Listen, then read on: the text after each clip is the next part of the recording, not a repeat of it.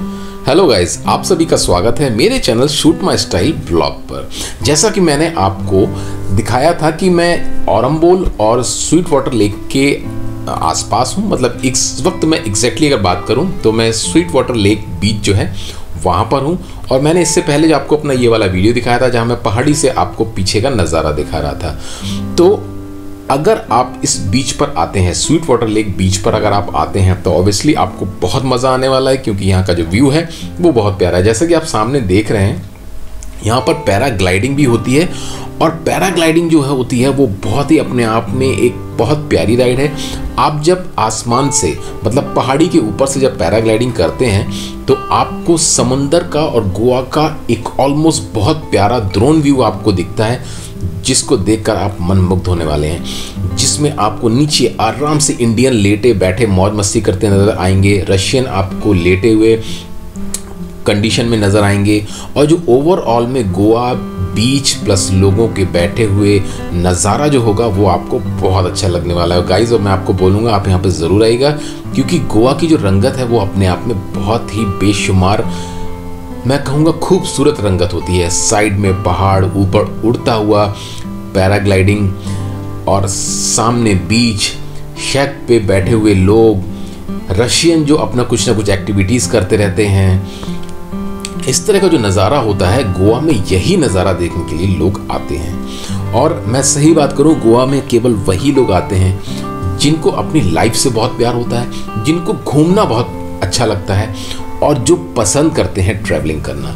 क्योंकि गोवा अपने आप में एक कह लीजिए छोटा सा एक टापू आप कह सकते हैं, जो आपकी आँखों को हमेशा फाड़ के रखता है, क्योंकि हर बार आपकी आँखें कुछ नया व्यू देखती हैं।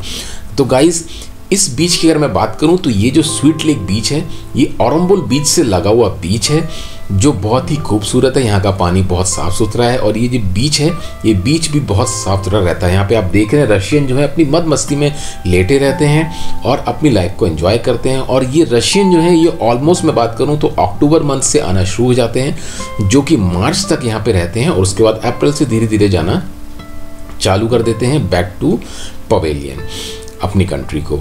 तो आप देख रहे हैं, जैसे कि रशियंस आप सामने बीच पर आप देख रहे हैं कि वो स्विम कर रहे हैं, नहा रहे हैं, अपनी मस्ती मस्त हैं, और इस वक्त का जो नज़ारा है वो ऑलमोस्ट शाम का साढ़े पाँच हो रहा है, और सूरज जो है वो धीरे धीरे ढलने जा रहा है। तो एक पूरी लालिमा के साथ ये जो आपको नज़ारा नज़र आएगा, ये अपने आप में बहुत ही खूबसूरत नज़ारा होगा।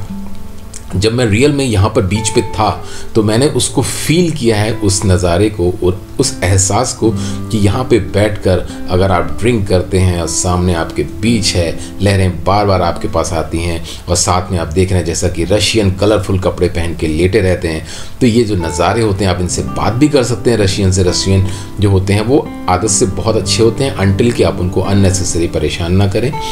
ये आपको हमेशा अच्छे से रिस्पॉन्स देंगे अगर आप अच्छे से इनसे बात करना चाहते हैं। जैसा कि आप सामने देख रहे हैं, यहाँ पर शेक लगे रहते हैं। शेक पर आप आराम से ऑर्डर कर सकते हैं अपनी चीज़ों को। और यहाँ पर जो मैं प्राइस वाइज अगर बात करूँ तो यहाँ पर एक ड्रिंक का प्राइस एल्कोहलिक ड्रिंक का प्राइस जो होता है, वो ऑलमोस्ट डेढ़ सौ से दो सौ रुपये का होता है। आप यहाँ पे कोई सॉफ्ट ड्रिंक मंगाते हैं तो उसका प्राइस भी सौ, सवा सौ के आसपास होता है। आप टी कॉफ़ी मंगाना चाहते हैं तो उसका प्राइस फिफ्टी से सेवेंटी फाइव रुपीज़ का होता है। तो इस तरीके से जो प्राइस रेंज होती है, वो भी अफोर्डेबल होती है। कोई भी नॉर्मल आदमी यहाँ पे आके बीच को एंजॉय कर सकता है। तो गाइज़ मेरी रिक्वेस्ट होगी कि आप जब भी गोवा आए तो एक बार बागा बीच, कलंगुट बीच के साथ साथ आप यहाँ पर अरम्बोल बीच और इस जो मैं बीच आपको इस वक्त दिखा रहा हूँ स्वीट वाटर लेक बीच यहाँ ज़रूर आएगा। आप ठीक सामने देख रहे हैं, वहाँ पर तीन चार लोग जो जा रहे हैं काफ़ी दूरी पे, वो एक प्राइवेट प्रॉपर्टी है और जिसका नाम है sweet water lake sweet water lake जो है, पूरी तरीके से प्राइवेट प्रॉपर्टी है। आप वहाँ पर जा सकते हैं स्विम कर सकते हैं, जिसका वीडियो मैंने अलग से डाला हुआ है, आप चाहें तो देख सकते हैं। अंदर जाने का, अंदर जाके लेक में नहाने का स्विम करने का कोई भी चार्ज नहीं लगता है, लेकिन हाँ अगर आप वहाँ पर बैठना चाहते हैं शेक लेके और वहाँ पर ड्रिंक करना चाहते हैं तो उनके चार्जेस होते हैं, जो आपको दो से तीन सौ रुपये कपल के हिसाब से आपको पे करने पड़ते हैं। तो आप देख रहे हैं, रशियन यहाँ पर पूरी मस्ती से अपने कॉस्ट्यूम्स में यहाँ पर रहते हैं। और उनको इस बात का कोई गिला शिकवा नहीं होता कि वो इंडिया में है, क्योंकि हमारे कल्चर में क्या होता है कि पूरे कपड़े पहनना और इनके कल्चर में होता है अपने फ्री स्टाइल बिकनी में रहना। तो वो उसी तरीके से यहाँ पर रहते हैं और अपने लाइफ को एंजॉय करते हैं।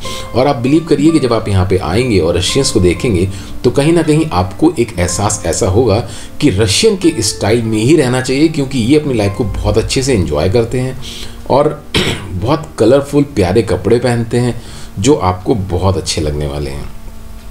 तो गाइस यहाँ पर आप जब भी आते हैं, देखिए यहाँ, इस बीच की जो सबसे अच्छी खासियत है, वो मैं आपको बता देता हूँ। आप और बीच पे अगर जाएँगे लाइक कलोंगुड बीच, बागा बीच इवन आप कॉन्डोलिम बीच पर भी अगर आप जाएँगे तो वहाँ की जो रेत होती है, वो बहुत मोटी होती है। लाइक जो मकान में, बनाने में यूज़ होती है, मोरंग, उस तरह का होता है।